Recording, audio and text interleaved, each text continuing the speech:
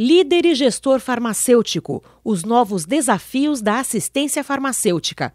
Esse foi o tema do curso ministrado em Caratinga por Berdsen Rocha, assessor da diretoria do CRF, o Conselho Regional de Farmácia.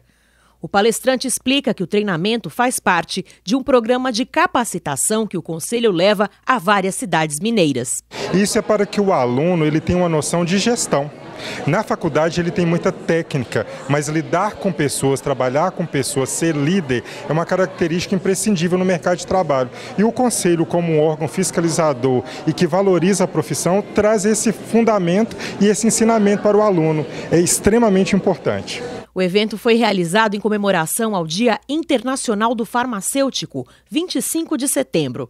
Juntamente com ele, o curso de farmácia do Centro Universitário de Caratinga mobilizou os estudantes para arrecadar doações de medicamentos. A gente está criando um hábito de desenvolver uma ação social com relação à coleta de medicamentos para a gente é, doar para a farmácia solidária do Cazu. Né? A gente, é, as, as farmacêuticas responsáveis nos pediram que a gente está até com o estoque baixo, já aproveitando então para pedir à população que sempre que tiver medicação né, sobrando, aqueles restinhos em casa dentro do prazo de validade, que tragam a farmácia solidária do Cazu. Outra ação social promovida pelos alunos foi a arrecadação de leite, que será doado para a Azadon.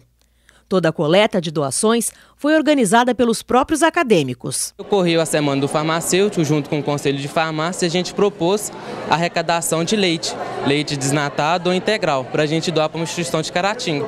O Conselho aceitou, né? A gente procurou, dentro de Caratinga, a instituição que estava mais precisando, encontrou uma Azadon. Eles falaram que precisava muito de leite, tanto integral, tanto desnatado. Aí nós conversamos com a Denise, junto com a Atlética do curso de farmácia, para a gente fazer a doação para lá. Toda a turma, período de farmácia, contribuiu com isso, aí a gente arrecadou bastante coisa, graças a Deus.